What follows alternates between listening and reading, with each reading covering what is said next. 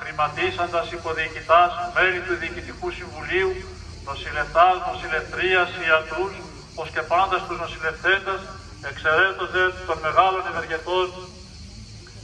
Αλεξίου Γεωργίου Θεμιστοκλέους Διονυσίας Μαρίκας Μαρίας Νότας Τιμοστέρους Αθηναίδος Ιωάννου Αλεξάνδρου Χρήστου Βενετίας Ειρήνης Ελένης Βασιλείου Μαρίνης Αναστασίου και Ιωάννου Εσχυνές δικαίων τάξης. Αμήν. Εν κόλπης Αβραάμ αναπαύσει. Αμήν. Με τα Αγίων και δικαίων συναριθμίσε. Αμήν. Αυτούς μεν συγχωρήσε. Αμήν. Ημάς δε ελεήσε και σώσε. Αμήν. Ως αγαθός και φιλάνθρωπος και ελεήμων Θεός. Αιωνία σου μνήμη, αιωνία σας η μνήμη αξιομακάριστη και αείμιστη αδελφή ημών.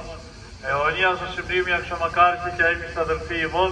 Αιωνία σας η μνήμη αξιομακάριστη και αείμιστη αδελφή ημών. Αιωνία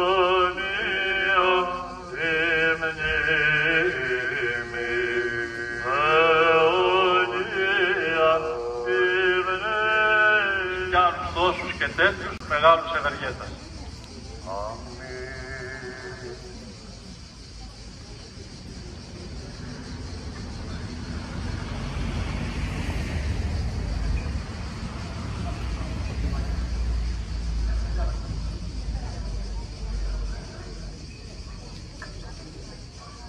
υπέρ των ενδύμων κτητόρων, ευεργετών, ανακαινιστών της νοσηλευτικής μονάδας Κυπαρισίας ολοκληρώθηκαν οι ορταστικέ εκδηλώσεις για την εορτή ψώσεως της τιμίας ζώνης Θεοτόκου στο κλεισάκι του Κοραυγίου στο νοσοκομείο της Κυπαρισίας παρουσία των αρχών και φορέων και λειτουργούντος του σεβασμετά του αρχιερέως ε, σεβασμετά του Τριφυλίας και Κυρίου Κυρίου Χριστόφου.